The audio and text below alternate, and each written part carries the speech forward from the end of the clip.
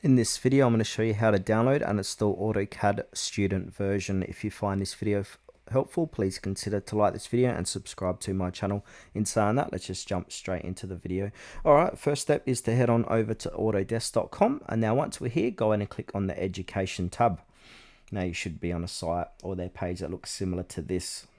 Now, before we start, you will need a student or educator email, so from eligible school or university, a computer that meets AutoCAD system requirements, this can be Windows or Mac, and also a stable internet connection. Now, once we're on this site, if I scroll down here, student plan. so Autodesk provides the next generation of designs and make leaders free access to the same software our customers use, helping students learn the skills they need to prepare themselves for jobs tomorrow. So one name user seat, renewable one year subscription. Now keep scrolling down here, it will say how to sign up and download products. So they basically say sign up for Autodesk by selecting your project and plan, sign up using your school email, confirm eligibility and provide any required documents. Check your email for status updates, complete your Autodesk account setup via email. Once verified, you can access your downloads.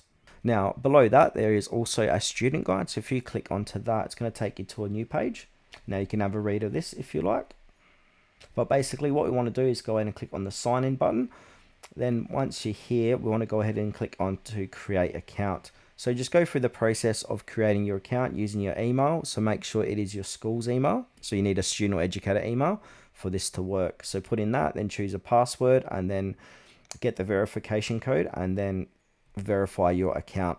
And then from here, just come back to education once you've signed in and then scroll down it will say option one request or renew access. So sign up by choosing a product you need selecting a student plan and providing a school issued email address for verification.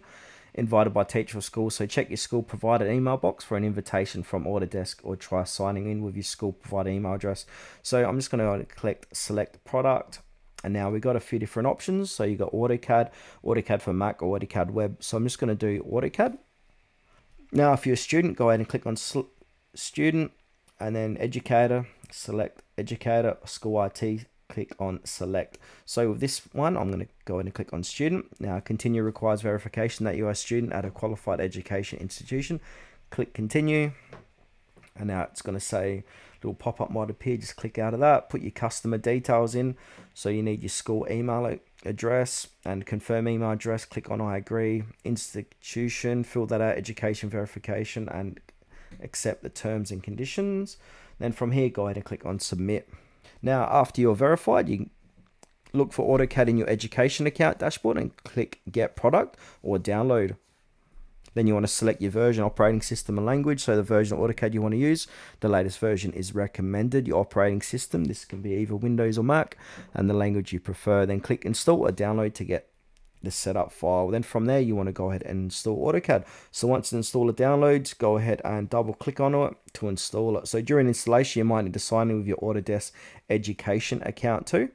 Then from there, open up AutoCAD and then sign in with your Autodesk education account. The software automatically activate as a student license. You can check your license in the about or account section. It should say educational license.